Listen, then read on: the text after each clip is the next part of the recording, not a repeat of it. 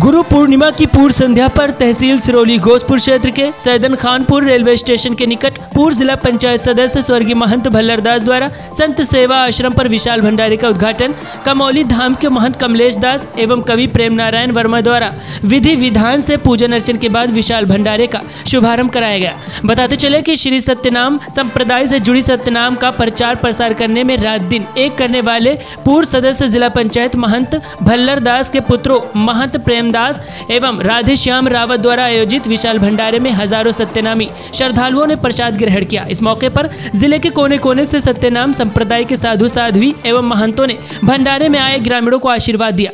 भजन कीर्तन का भी आयोजन किया गया। टीवी इंडिया टीन सिरोली घोषपुर। Bureau report.